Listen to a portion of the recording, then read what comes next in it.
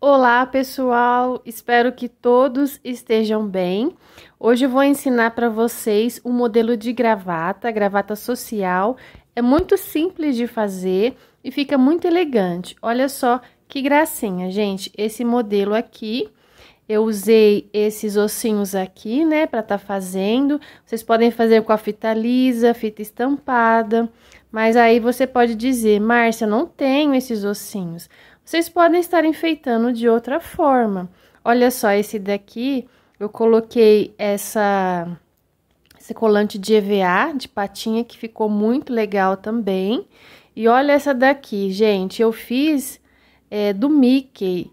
Fiz preto, vermelho amarelo, coloquei os botõezinhos, né, igual tem na roupinha dele. Olha que chique que ficou. Então, é só usar a imaginação. E se você gostou dessa ideia, já vai lá e já deixa o seu like. Vamos ao passo a passo dessa linda gravata. Para fazer a parte de baixo, nós vamos usar dois pedaços da fita de cetim número 9, no tamanho de 12 centímetros cada. Aí, nós vamos fazer embaixo o formato da gravata. Então, a gente corta aqui na beiradinha, desse jeito aqui. Vamos fazer também no outro pedaço. Prontinho. Agora, nós vamos selar as pontas para não desfiar.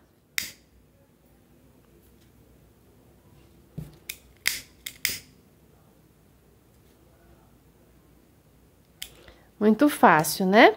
Agora, nós vamos usar a cola para a gente poder unir essas duas partes. Vamos passar um pouquinho de cola só na beiradinha, tá?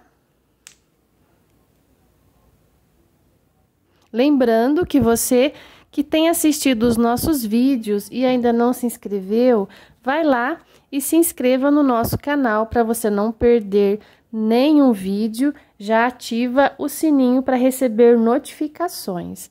Então, a gente cola aqui e dá só uma funilada, só um pouquinho aqui em cima, tá bom? Para ficar desse jeito aqui. Agora, o laço que vai em cima gravata, né, borboleta, nós vamos usar a fita de cetim número 9 também, no tamanho de 18 centímetros, tá bom? Eu já deixei aqui uma pronta, né?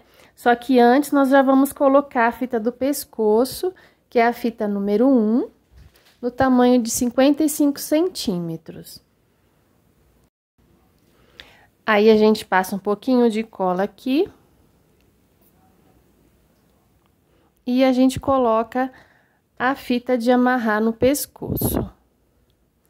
Aí, depois que a gente colou a fita, nós vamos colar a gravata borboleta aqui em cima.